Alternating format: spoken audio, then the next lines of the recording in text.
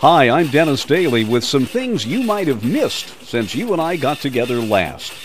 Scientists with the U.S. Geological Survey say the continental shelves that are being exposed when polar ice caps recede may hold double the amount of oil than earlier thought.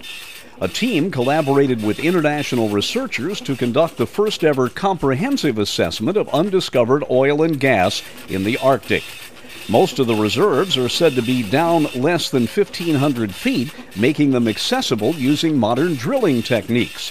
By the way, the nations that own the area involved are the U.S. and Russia, Canada, Denmark, and Norway.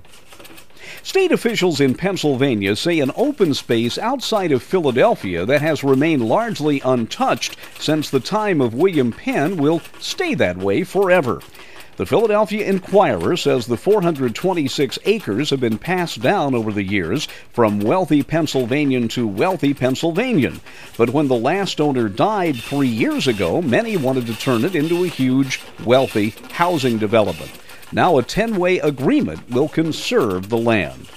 Finally, the international group that has been keeping tabs on the surviving passengers from the Titanic says the last survivor has died.